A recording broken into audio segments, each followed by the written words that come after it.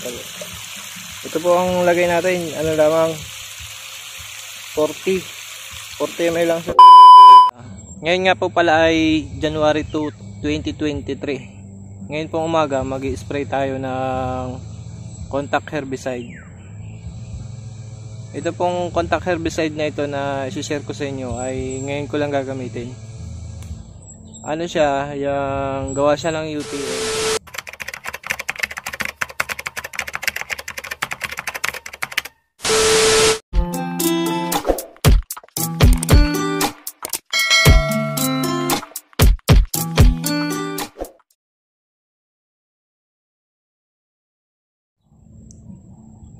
Magandang umaga po muli.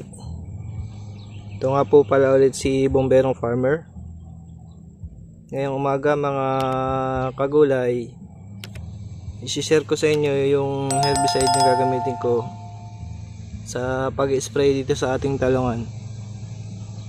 Itong herbicide na ito ay contact herbicide lang. Kasi hindi maaaring gamitin dito yung glyphosate na herbicide yung mga systemic kasi uh, delikado ito para sa talong. Ano po bang pinagkaibahan ng contact herbicide at ng systemic herbicide? Ang contact herbicide po, kung ano lang ang tinamaan niya, yun lang ang mamamatay. Halimbawa, kagaya nitong talong na to. Kapag tinamaan siya dito, sa mga dahon niya, yun lang yung mamamatay yun lang yung didilaw.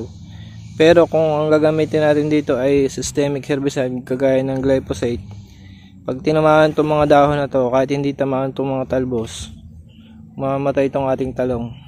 Yun po ang pinagkaiba ng contact herbicide at saka ng systemic herbicide. Ang contact herbicide po ang kalimitan niyang AI ay glufosinate ammonium. Samantalang yung pong mga Uh, systemic herbicide, kalimitan po yun yung mga glyphosate, tsaka yung mga 2,4-D. Delikado po yung 2,4-D, hindi po pwedeng gamitin yun sa may mga may malapit na gulayan. Paano ba natin pupuksain itong mga damo sa ating talungan? Uh, marami pong paraan paano masugpo yung damo. Unang-una, gumamit tayo ng plastic mulching pero ito pong aking talungan, hindi po ako gumamit ng plastic mulching. Uh, ano lang po ito. Yung direkto ko ng tinanim, hindi ko na ginamitan ng plastic mulching. Pero mas maganda po kasi may plastic plastic mulch yung tataniman mo. Kasi maraming benefits yung plastic mulch. Eh kulang lang po ako sa budget kaya hindi na po ako gumamit. Tapos mga agulay, pangalawa naman, yung diskarte ng iba, itong pinakadaanan na to aruruhin to ng kalabaw. O kaya dadaanan nila ng rotavator para mabungkal yung lupa at mamatay yung mga damo. Tapos pwede rin naman itong ginagawa ko na spray ng contact herbicide dito sa may daanan niya. Tapos itong sa may puno ng talong kagaya nito mga kagulay manual weeding na lang po ito. Kung mapapansin nyo ito na itong row na ito mga kagulay makapag manual weeding na to sa mga puno. Ito namang part na to hindi pa. Ito manual weeding bubunutin natin itong mga damo dito sa puno. Ang gagawin ko isprehan ko lang mga kagulay ay itong part na to itong dinadaanan tapos itong may malapit sa puno ng talong, manual weeding na lamang. Ito nga po pala mga kagulay yung gagamitin ko na herbicide. Ito ay gawa ng UPL. Ang active ingredient po niya mga kagulay ay glufosinate ammonium 280 gram per liter. Kita nyo ba mga kagulay? Maganda po itong interline kasi kung makikita nyo doble yung glufosinate ammonium niya compared sa other brands hindi ko na lang po sasabihin Kasi yung other brand, 140 gram per liter lang yung mga ano niya eh. Glufosinate ammonium niya. Samantalang itong Interline, 280 gram per liter. Kaya mas matipid po itong gamitin.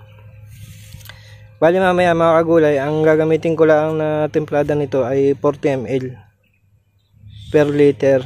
Eh per 16 liter. Tapos, lalagyan ko siya ng isang lata ng sardinas na ammonium sulfate para mas mabilis masunog yung damo. Ito nga palang interline ay isa siyang non-selective post-emergent herbicide. Ibig sabihin, ano siya, hindi siya kagaya ng mga uh, herbicide na selective yung pinapatay lang yung matutulis ng damo kagaya nito.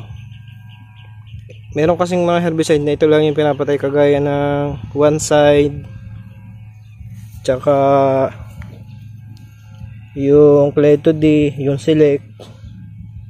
Pero itong contact herbicide na interline, kahit itong mga bilugong dahon, yung kagaya nito, ito pa, kaya nyo itong patayin. Unlike dun sa mga selective herbicide, hindi niya kayang patayin yung mga bilog yung dahon, kagaya nito.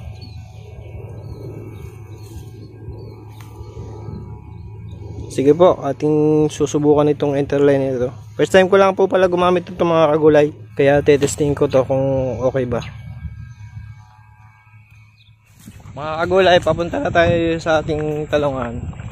Kinuha ko lang pala itong ammonium sulfate saka itong sprayer natin.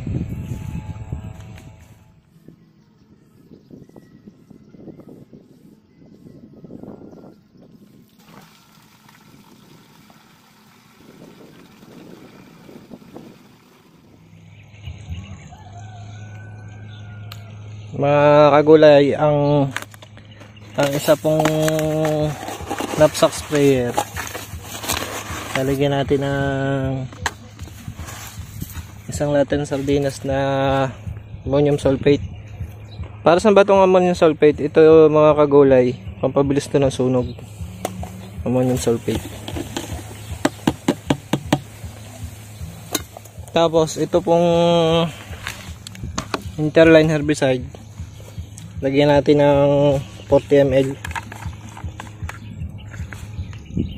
dati kasi yung ginamit 60 ml yung lagay ko. Eh ito namang UPL doble yung timplada niya ng ano glufosinate ammonium. Kaya ang lagay ko ano lamang 40 ml lamang.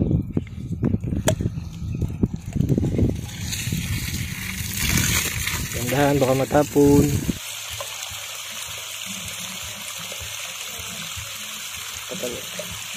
ito po ang lagay natin. Ano lamang?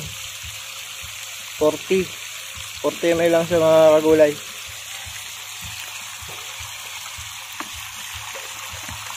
Ganda pala ng kulay nito kulay pula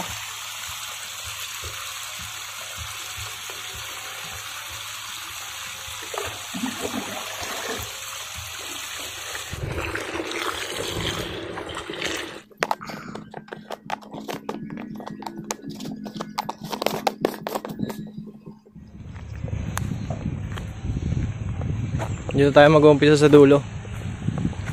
Gagamitin ko sana dito mga kagulay ay power sprayer. Kaso mahangin na. Kaya ito na lang gagamitin kong ano.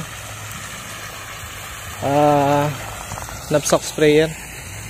Delikado kasi pag mahangin baka ma ano yung talong natin.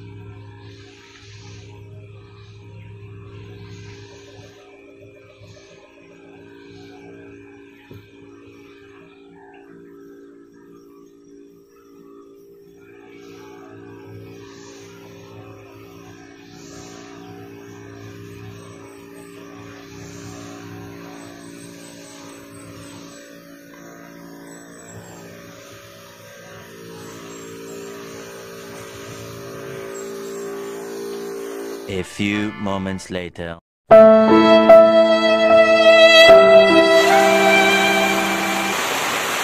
Minalas tayo mga kagulay. Nakakalati pa lang tayo ay umulan na ng malakas. Sayang yung ating in-spray. Sana ito malab. Ang mahal pa naman ang gamot. Ayun, lakas ng ulan. Pero okay din naman kasi hindi na tayo magdidilig. Pero sana sayang din yung ating napa-spray na yun. Sana ito malab yun. Lakas ng ulan. May hangin pang kasama. Nangihinayang talaga ako dun sa in-spray ko na yun. Bukod sa pagod na eh, sayang yung in-spray. Ang mahal pa naman ang gamot. Sige mga kawalay, update ko na lang kayo kung ano mangyayari ba. Several days later. Quick update nga po pala sa ating inisprehan ng herbicide noong January 2, 2023. Ngayon po mga kagulay ay January 11, 2023. Kakabalik ko lang po sa Batangas. Galing po ako ng duty ng Rizal. Ngayon ko lang po itutuloy yung aking pag spray ng herbicide. Ito pong herbicide natin na Interline. Kasi nung nag-spray ako ng January 2, uh, the next day, January 3, nag-duty na po ako kaya hindi ko po natapos yung pag-spray. Bali mga kagulay, ito po yung inisprehan ko na inabot ng ulan. Kung mapapansin ninyo, hindi masyadong nasunog. Ito mga kagulay, hindi masyadong nasunog yung damo. Ito kasi yung huling timplada ko mga kagulay. Itong part na to, hindi siya masyadong nasunog. Tapos ito yung yung ibang part. Maganda yung sunog ng iba mga kagulay. Patay na patay yung damo. Ang sprayan ko nga pala dito mga kagulay ng herbicide, eh ano lamang, kalahati pa lamang, halos kalahati pa lang. Kasi nga nung time na yun, biglang umulan, maghapon na yung ulan. Kaya hindi ko na naituloy. May, may part pala dito mga kagulay na 30 ml lang yung timpla ko. At kung makikita nyo naman, sunog din, sunog pa rin. Kaya sobrang tipid talaga nitong nitong herbicide na ito na interline. 30 to 40 ml lang, basta maganda yung sikat ng araw, eh tepok na ang damo. Pero yun mga kagulay, ay depende pa rin sa lago ng damo. Siyempre, kung mas malago yung damo, mas dagdagan natin yung timplada. Pwedeng gawin natin na 50 ml o kaya 60 ml para mas patay yung damo. Pero pagka kagaya nung nag-spray ako na ito, kagaya nito mga gulay, manipis naman. Kaigi na dito ang 30 to 40 ml. Basta lalagyan nyo lang siya ng ammonium sulfate na isang lata na sardinas kada sprayer. Kanina nga pala mga kagulay, nung mag start na ako, minalas pa. Nayapakan ko kasi itong dulo ng ano ko. Dulo, yung extension nozzle nitong aking ano, nitong aking sprayer nang hiram pa ako doon sa sa labasan sige po mga kagulan mag spray na po tayo dito sa ating talong nakaliks to A few moments later. Kakatapos ko lamang po mga kagulan mag spray bali ngayon ay alas 12 gis na ng tanghali kakain muna tayo ng tanghalian dito nga pala sa huli kong timplada ay may natira pa. Ang gagawin ko na lang dito, spray ko na lang sa paligid ng bahay namin. Bali mga kagulay, dun sa buong talungan ko, hindi ko pa naubos itong isang litro. Mataas 1/4 pa siguro to. Mga 1/3 siguro, 1/3. 1/3 pa mga kagulay ang natira ganun katipid itong interline gamitin pero epektibo naman yung buong talong ko na-sprayan ko na may labis to oh, sige po mga gulay kung bago lang po kayo dito sa aking munting channel huwag nyo naman kalimutang mag like share subscribe na rin po kayo malaking tulong po yun para sa akin Ingat po tayong lahat. Bye-bye.